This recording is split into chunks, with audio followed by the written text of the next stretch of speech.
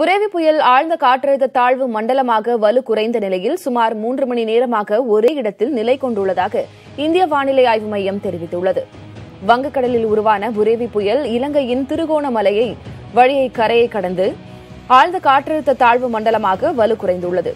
அதிகாலை இரண்டு முப்பது மணி நிலவரப்படி ஆழ்ந்த காற்றழுத்த தாழ்வு மண்டலம் ராமநாதபுரத்தில் இருந்து நாற்பது கிலோமீட்டர் தொலைவிலும் பாம்பனில் இருந்து எழுபது கிலோமீட்டர் தொலைவிலும் கன்னியாகுமரியில் இருந்து நூற்று அறுபது கிலோமீட்டர் தொலைவிலும் நிலை கொண்டுள்ளது. மேலும் மூன்று மணி நேரமாக ஒரே இடத்தில் நிலை கொண்டுள்ள ஆழ்ந்த காற்றழுத்த தாழ்வு மண்டலம் மேற்கு தென்மேற்கு திசையில் நகர்ந்து ராமநாதபுரம் தூத்துக்குடி இடையே அடுத்த ஆறு மணி நேரத்திற்குள் கரையை கடக்கும் என்றும் இந்திய வானிலை மையம் கூறியுள்ளது.